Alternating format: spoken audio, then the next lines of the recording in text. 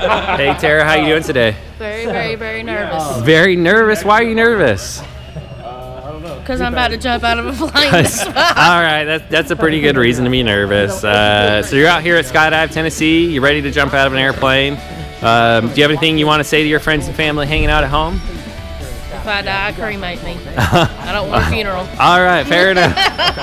Hopefully it won't come to that. Oh, we'll see though. All right, we'll see you out there.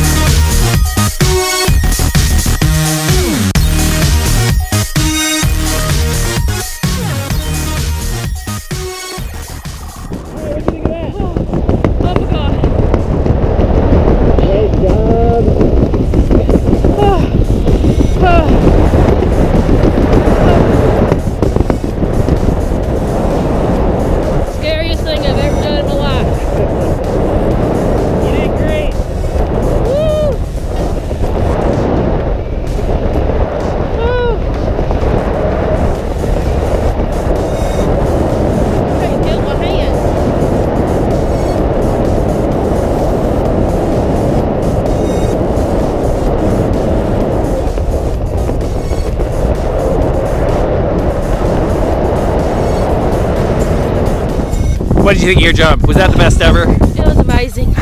What was your favorite part? Uh, when the parachute went up All right. and I knew I was safe. What were you thinking when you we came out of that plane? Oh God, I thought I was gonna pass out. I really did. You did great. You did great. You gonna come back and do it again? Yeah, I might. All right. I like it. We'll see you next time. Thank you so much.